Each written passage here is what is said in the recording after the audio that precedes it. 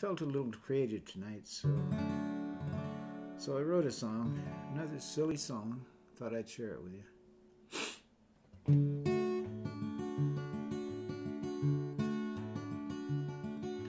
What does the tree say to the breeze? Come on by and shake my leaves. What does the bird say to the wind? Lift me up, we'll fly around again. There's a whole lot of talking going on that most of us don't get in on. There's a whole world out there naturally that you and I just cannot see. What does the squirrel say to its cave? Think I'll duck in here and then I'll feel safe. What does the penguin say to the ice? It's a chilly world, but don't it feel nice?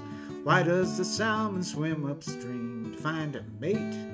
Or so it seems. Why in the world is a whale so big? Just how it is, no more. Go fig. With a whole lot of talking going on that most of us don't get in on. There's a whole world out there naturally that you and I just cannot see.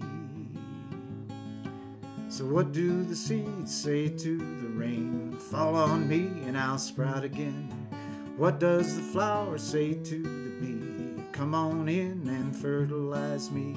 It seems that man, as great as he is, shuts out the world in which he lives. He wants a virtual reality.